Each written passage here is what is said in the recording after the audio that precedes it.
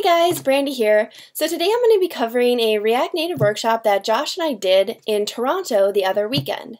There'll be two parts. First part will be myself going over the basics of React Native and also Redux, and then part two will actually be a live coding portion that will cover an entire application that we will build from start to finish. So stay tuned. Ready? We are about to start the React Native workshop please open up a tab and go to this bit.ly link. This will be useful for the second part of the video when we get into phase two, which will be the live coding portion where we build an application together. So here's a quick overview of what we will be covering in this video and also the next video. So today we're going to talk about why React Native and why so many companies are using it and what companies are using it. We'll then go into the basics of React Native, JSX, props, state, and event handling. We will also cover containers, components, styles, and routing. Those things will mainly be in phase two. Then we will have the basics of Redux. We'll go over actions, async actions, reducers, and the store. We are going to cover third-party API integrations with Giphy and also Firebase. So here is the actual agenda. For phase one, we're going to talk about the value of React Native, the basics of React Native, basics of Redux, and then I'll save time for any questions that you may have. And then in phase two, we're actually going to be doing the application building. So that'll be project setup, and then we'll go into the routing, views, styles, Redux, and then third-party API integration.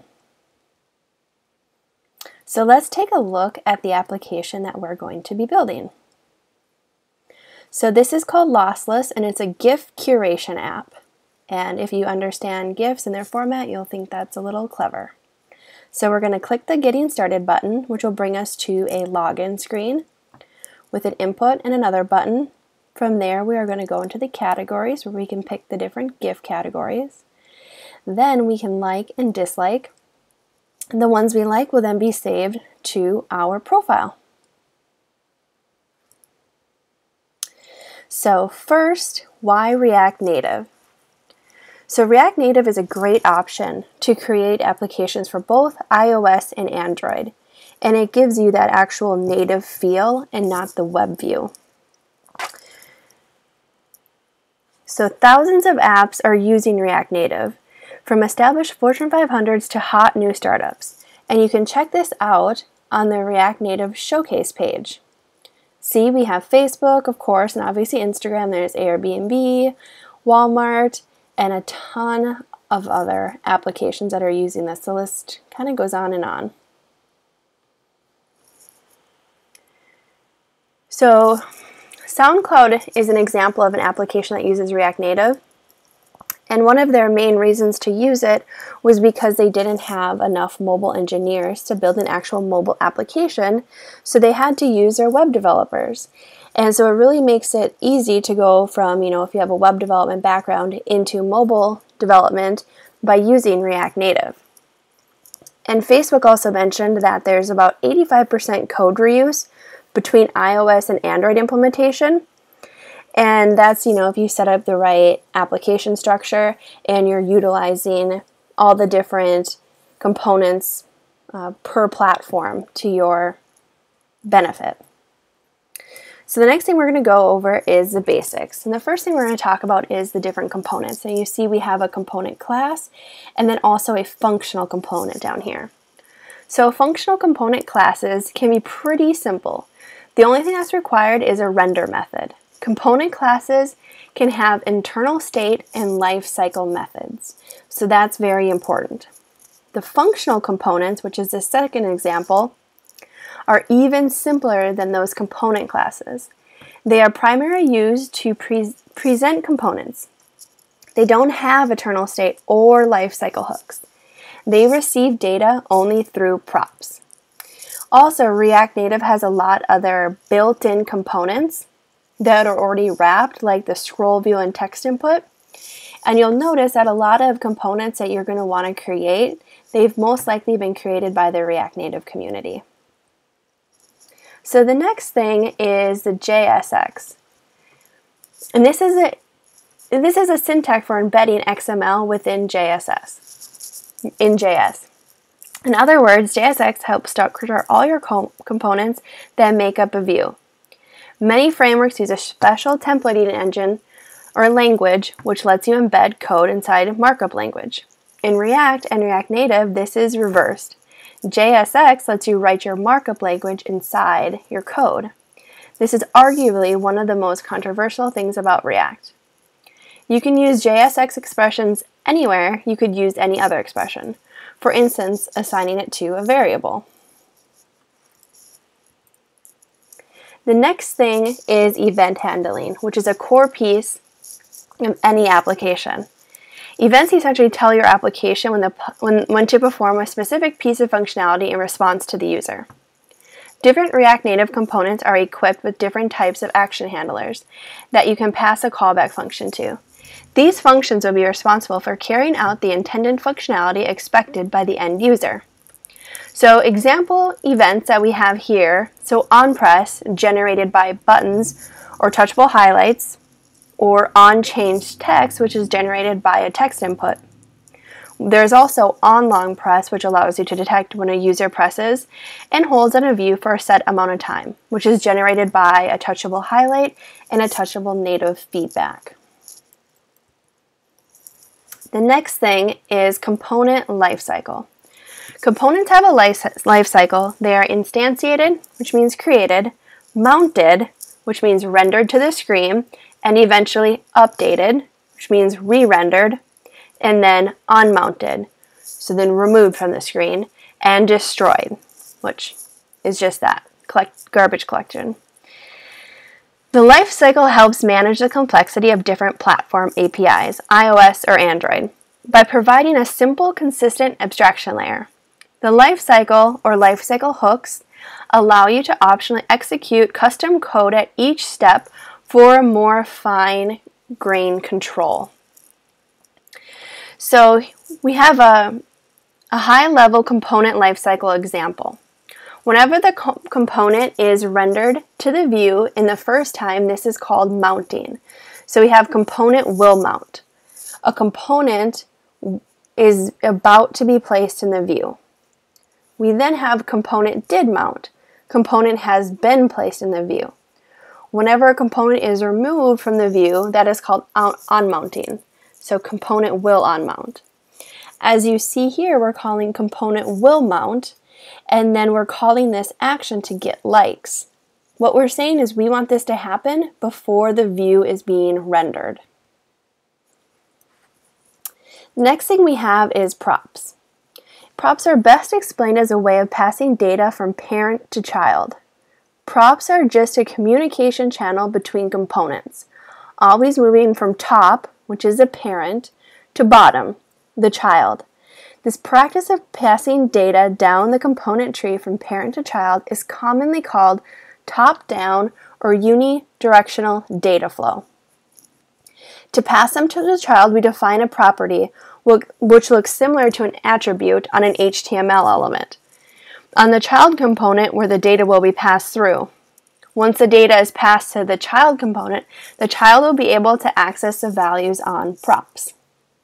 So you see right here, we're passing in on submit to this login form component. Then we're going to go into this login form component and see that we are, we are able to utilize that on submit function via props.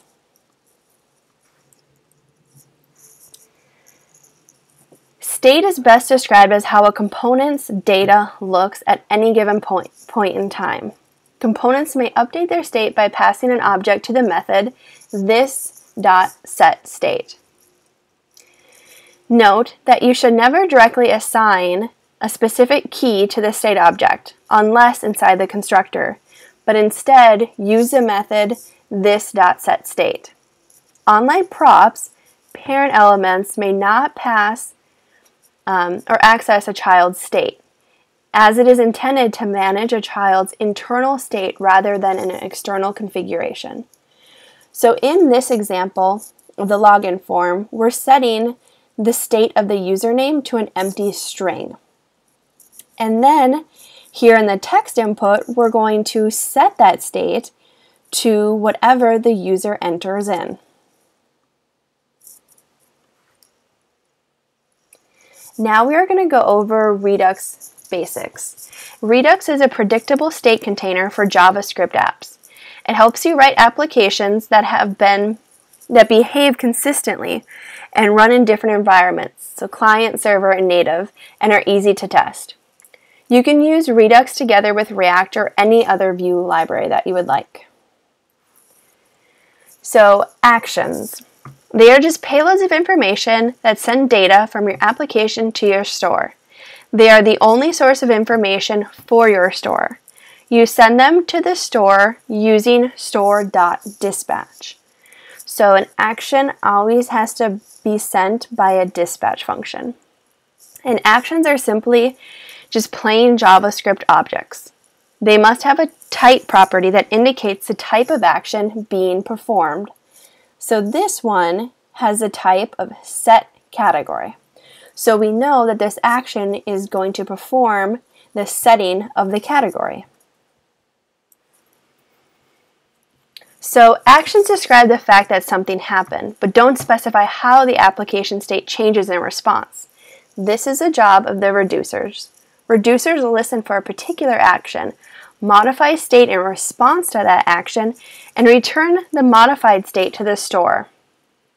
The reducer must be pure. So what does that mean? So given some arguments, it should calculate the new state and return it. So no surprises, no side effects, no API calls, no mutations, just a calculation. Inside a reducer, you don't mutate the state object directly. You create a clone of the state object and mutate that. So why is it important to have case statements to specify action types? Well, every action is dispatched to set and sent to every reducer. The only we only want specific reducers to handle specific actions. The more advanced topic on reducers is reducer composition. This is a practice of breaking out one complex reducer into multiple smaller reducers. This makes the reducers more manageable and readable. So in this GIF reducer, you can see that we're passing in the default state right here. And then we're also passing in that action. And we have a switch statement where we're passing in that action type, which we see right here. And so all we're doing for this one is we are going to return the state. You see we're using that ES25, yeah, 2015 uh, spread operator. And then we're returning the new categories.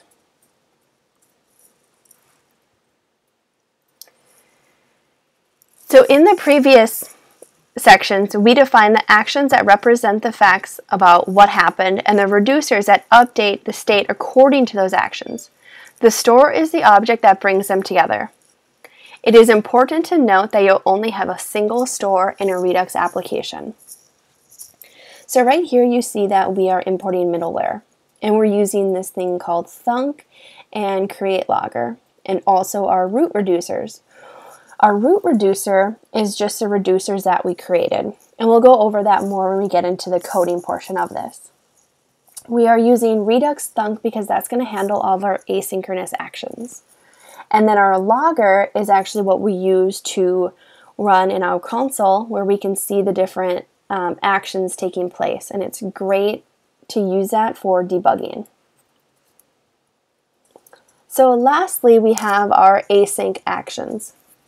So when you call an asynchronous API, there are two crucial moments in time. The moment you start the call and the moment when you receive the answer or timeout. Usually for any API request, you'll want to dispatch at least three different kinds of actions. An action informing the reducer that the request began, an action informing the reducer that the request finished successfully, an action informing the reducer that the request failed. The standard way to handle asynchronous actions with Redux is to use the Redux, Redux Thunk middleware, which we just discussed in the store. So right here, we have this get gifs, and we are going to dispatch the get gifs request. So we're just sending out that request. Then from there, we are actually calling our API, And then we are going to dispatch a success saying, yes, we got the data. Or if it was not successful, then an error would be triggered. So right now we've just covered the basics of React Native and also the basics of Redux. The next step that we are going to go into is actually the coding portion of our application. So stay tuned and part two will be out shortly.